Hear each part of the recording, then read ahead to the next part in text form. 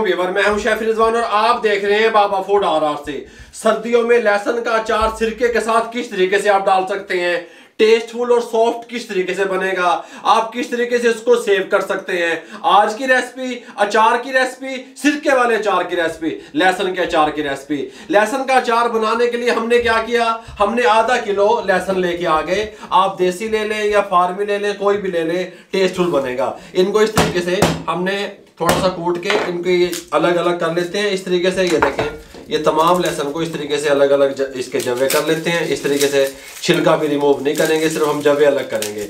और जवे अलग करने के बाद जब तक हम जवे अलग करते हैं, हम क्या करते हैं? इस कूटने से ये होगा कि कुछ जवे खुद ही अलग हो जाएँगे, कुछ के छिलके रह जाएँगे। गल समझ आ रही है? ये तरीका भी मैंने आपको बता दिया। इसके साथ एक कढ़ाई ले लेंगे, फ्लेम को ऑन कर लेंगे, फ्लेम हाई रहेगा। एक जग पानी का इसमें डाल देंगे, ऊपर से कवर लगा देंगे, पानी को बॉयल आने का वेट करेंगे।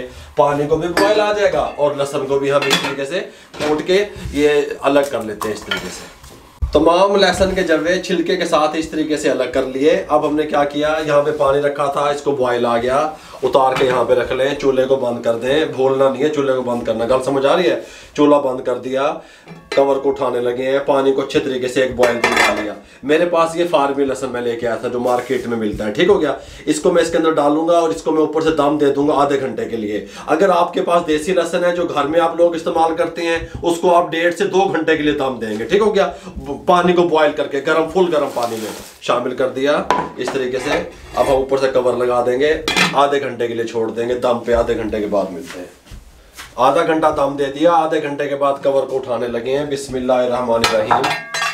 अब इस तमाम लहसन को हम छील लेंगे, छील के इस कपड़े पे डाल के अच्छे तरीके से हम खुश कर लेंगे, इस कपड़े को इस तरीके से बिछा लेंगे। और तमाम लहसन हम छील लेंगे, ये आसानी से छील जाएगा, ये आप देख सकते हैं इस तरीके से। इस तरीके से इसको छील देते रहेंगे। ये वाली जगह ऊपर वाला जो इसका ये वाला मुँह वाला जगह है, यहाँ पे इसको इस तरीके से कट कर लेंगे और तमाम लहसन इस तरीके से यहाँ पे कपड़े पे डाल लेंगे। लहसन को अच्छे तरीके से छील के खुश कर लिया। इसके साथ का हमने एक जार ले लिया। खुश्क होना चाहिए, पानी वगैरह नहीं होना चाहिए। लहसन को उठा के इसके अंदर शिफ्ट कर देंगे इस तरीके से। लहसन को इसमें शिफ्ट कर दिया जार में। दो सब्ज मिर्चें हमने ले ली। अच्छे तरीके से धो लिया, डंठल उतार देंगे। इसके सब्ज मिर्च के, ग्रीन चिल्ली के फ्लेवर के लिए इसके अंदर शामिल कर देंगे। काटेंगे वगैरह के नहीं, काटेंगे नहीं, इसको ये ध्यान में रहे।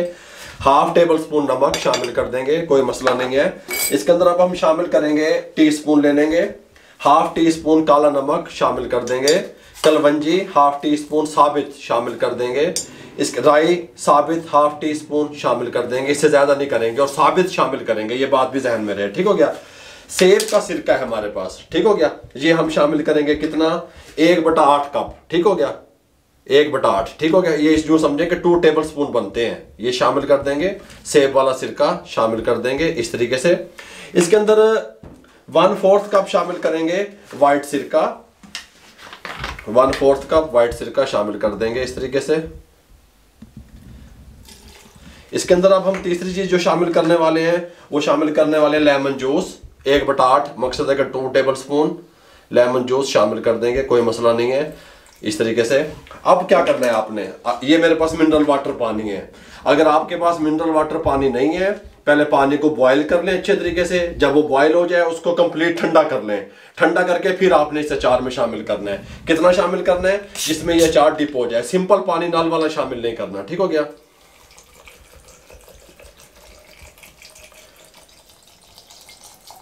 हाफ़ लीटर पानी इसमें शामिल कर दिया। ऊपर से कवर लगा दें इस तरीके से, अच्छे तरीके से हिला लें अच्छे तरीके से हिला लिया मिक्स कर लिया। पंद्रह दिन के लिए इसको हम छोड़ देंगे। पंद्रह दिन के बाद ये यूज़ के काबिल हो जाएगा। देखें, मेरी बात सुने। टेस्टफुल सॉफ्ट अचार तैयार होगा। डेढ़ से दो साल खराब नहीं होगा। इस फार्मूले से अगर आप तैयार करेंगे तो ठीक हो गया। इस तरीके से पानी डालेंगे तो मैंने मिनरल वाटर का यूज़ किया, किसी भी ब्रांड का आप ले सकते हैं। अगर मिनरल वाटर नहीं है तो पानी को बॉयल करें और उसके बाद फिर आप उसको ठंडा करके शामिल करें। इसको आपने फ्रिज के बाहर ही रखना है। खराब नहीं होगा, डेढ़ से दो दो साल, ठीक हो गया। खुश्क जगह पे बाहर जिस तरीके से चार रखा जाता है, उस तरीके से आपने रख देना है। अगर आपको हमारी लहसन के चार की रेसिपी अच्छी लगी हो, हमारे चैनल को सब्सक्राइब कर दिया करें। बेलाइकन के बटन को दबा के दोस्तों, रिश्तेदारों, अजीजों में शेयर कर दिया करें, दुआओं में याद रखा करें। अपना बहुत सारा ख्याल रखिएगा, मुझे और मेरी टीम को इजाज़त दीजिएगा। अल्लाह हाफिज़।